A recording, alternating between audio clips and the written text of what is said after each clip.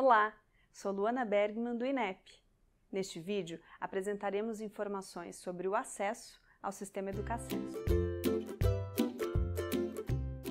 Utilize os navegadores Google Chrome ou Mozilla Firefox para acessar o sistema no endereço www.educacenso.inep.gov.br.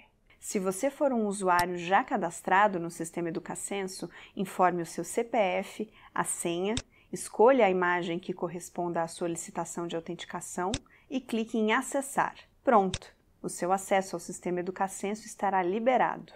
Caso você tenha esquecido a sua senha, clique em Recuperar solicitar nova senha. Informe seu CPF e e-mail e clique em Enviar senha. Siga as orientações recebidas no seu e-mail e as instruções apresentadas no Educacenso para alteração de senha. E atenção!